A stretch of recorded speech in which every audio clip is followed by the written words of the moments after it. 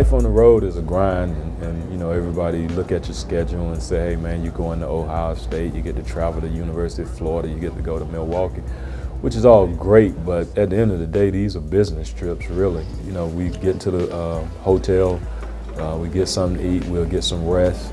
Pretty much, we got to go to practice. From practice, you know, we might do a little film work, get something to eat, get some rest. We play these type of programs for a couple of reasons. We're a low major program. Marquette don't want to return a home game to Savannah State, so in order to get Savannah State to come out to Milwaukee and uh, not give us a home game, so they pay us a guarantee.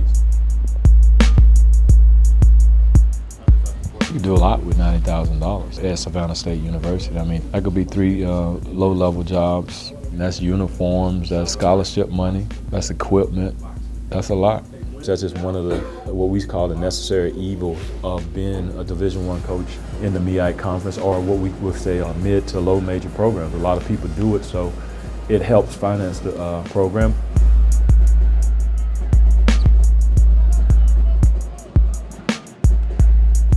Marquette is a worthy opponent and gives a program like us the opportunity to play against uh, high major programs. And you want to see how your kids compete under pressure. We got to get out this gate this first four minutes. Make sure we are boxing out. All right. If you make a mistake, no big deal. What's next? It's no problem making mistakes, but I get pissed off when one mistake leads to a second mistake. So if we make a mistake, what's next? They make a basket, what's next? Hey guys, you know we're gonna be in a fight. So if you're in a fight, you're gonna get some hits. But we got to get we got to take some hits and we got to give some hits. A lot of energy. Win on three. One, two, three, win! Let's go, man. Let's go. I believe every time a HBCU or Savannah State step out on the floor against a big school, everybody is looking at you like, we should beat this team. We should beat this team by 30. When we come to these big schools, I don't want our team to seem like we're just a pushover. We had a good season last year. We got 21 wins. We got to get better. We had 21 last year. We got to get 22, 23, always getting better.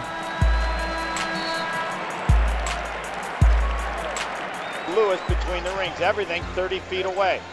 Cedric Smith lobs over the top and they throw it too far. Front court Vanderblue in from the right, baseline to the basket, floats it high up and in about a four footer. Louis in the lane, underneath wide open is Hassan as he stuffs it. We're not going into the game like it's just a good experience. We're trying to just play this game just to play against one of these big teams, get our name out. We actually playing to win. The biggest challenge is really just making sure your team is mentally ready because um, it's easy to look on film and say you're going to stop this and that, but to actually get out there and uh, face the crowds and just the big stages, you know, HBCU is not the biggest arena, but when you get to a big school like this, you got to just be mentally ready coming in. Rebound tapped out. They've got somebody free. Khiry White lays it up and in at the other end off a long pass, and Savannah State leading 10-7. Well, one thing we see right away, we don't know how long it'll last, but uh, the Tigers are matching MU with speed. We're going to break it down in four quarters. It's going to be a, a TV timeout at 16, 12, 8, and 4. So I tell my guys, hey man, we could play with anybody for four minutes. Let's just play with those four minutes. A lot of times we try to play the whole game in one possession. And uh, if we could get to the last four minutes, then it'll be a beautiful game, and then it's anybody's game. Make sure we take care of possessions. We're working hard as hell on defense. We don't want to give it back too quick on offense. Okay? Let's go, fellas. Tigers on three. One, two, three, Tigers. Horace Broadnax, first year at Savannah State, 2 and 28. That was 0506. Last year they were 21 and 12. And I know they do it with defense and their quickness. You try to play the game to win and you try to compete at the highest level. You try to show other people that you can compete with them.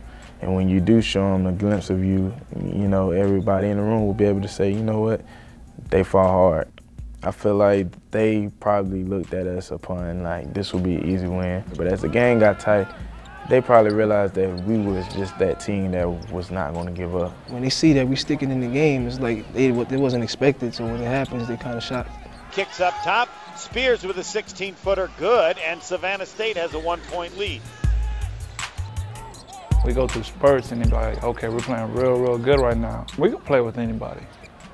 It's just the one rebound, the one box out, the one help over. It's always the little things. It's closing out.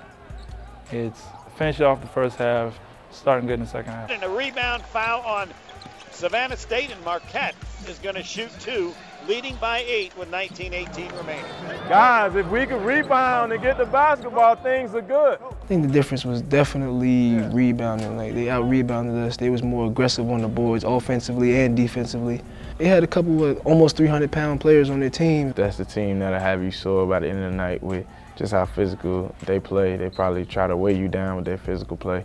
And that's something you can't do scouting report over. That's something you have to witness for yourself. It was kind of difficult boxing uh, those guys out because they were a little bit bigger than us. Obviously, they Big East caliber.